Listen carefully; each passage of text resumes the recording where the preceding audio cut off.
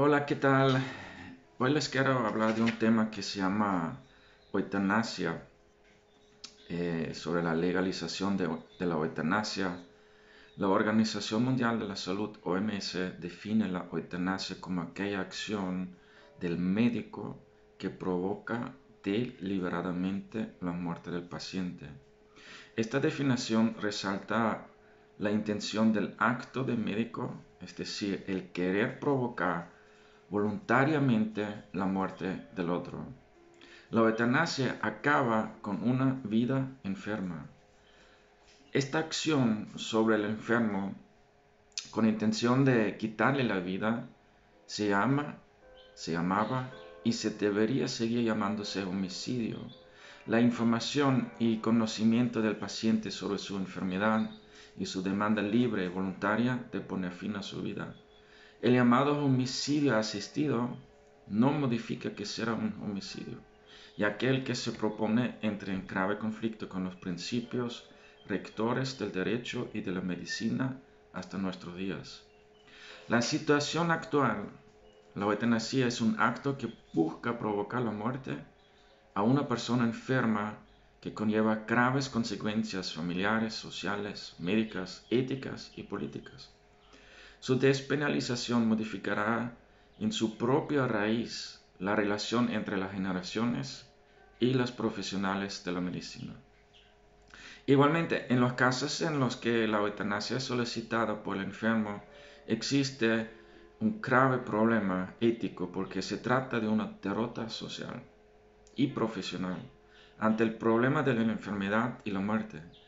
Los casos extremos y la autonomía personal, siempre aludidos por los partidarios de la eutanasia por su despenalización, no deben generar leyes socialmente injustas que enfrentan el deseo individual con el ineludible deber del Estado a la protección de la vida física de cada ciudadano.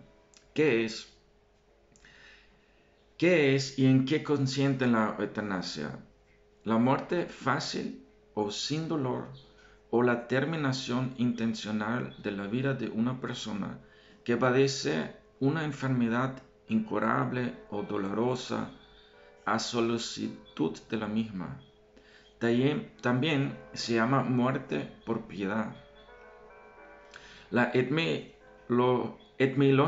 hablando, Eutanasia significa muerte apaciable o muerte sin sufrimiento físico, favorecido por otros. Es antónimo de cacotanasia. Características y objetivo. La eutanasia se puede dividir entre pasiva y activa. La diferencia está en que la activa es cuando se mata a una persona enferma o enferma de muerte con ayuda de medicina y médicos por ejemplo, con una inyección de algo, y que lleva a la muerte del paciente. La pasiva es, por ejemplo, que se apaga la máquina de oxígeno y se deja de ayudar y así también el paciente muere. El objetivo de ese movimiento es cambiar las leyes de los países para que acepten la eutanasia o cambiarlas de la forma, las leyes para que se puedan realizar. Acá les dejo uno. Tengo aquí una mapa que lo voy a agregar en el, en el video, una mapa mundial donde está permitido la eutanasia activa y suicidio asistido, por ejemplo, Canadá, eh, Colombia, España y creo que eso es Luxemburgo, no, Holanda y Nueva Zelanda. El suicidio asistido está permitido en Estados Unidos, en Alemania y Australia. Y el resto de, los países de este mundo es el acto permitido en algún de sus estados. Está increíble, ¿no? Mm. Eh, ejemplos. El informe Remelink sobre la práctica de la eutanasia en Holanda arroja a la luz mil muertes anuales por eutanasia voluntaria sin consentimiento en los 1990. Estos mil pacientes eutanasiados se convierten en mil poderosísimas razones para oponerse a la eutanasia activa. Otros ejemplos, la acción T4 se llama a partir del año 1943 en clínica psiquiátrica pacientes que eran discapacitados o tenían enfermedades psicológicas. La acción 14F13 es triste porque eso pasó en nuestra historia. Se llama en el cachet, en el campo concentración en las instituciones de T4, donde mataron los pacientes y los internos. La acción PRANT fue de los pacientes de la psiquiatría y hospitales, donde también han matado los pacientes. En cuanto a la posesión de la iglesia, la iglesia es pro vida. La acción eutanasia es declarada como homicidio. En cuanto la Biblia dice que no matarás, no podemos matar a nadie.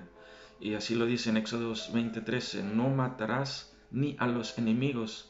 Jesús nos dijo lo siguiente en Mateo 5, 43 al 44, oíste que fue dicho, amarás a tu prójimo y aborrecerás a tu enemigo, mas yo os digo, amad a vuestros enemigos, bendecid a los que os maldicen y haced bien a los que os aborrecen y orad por los que os ultrajen y os persiguen, también por los enfermos.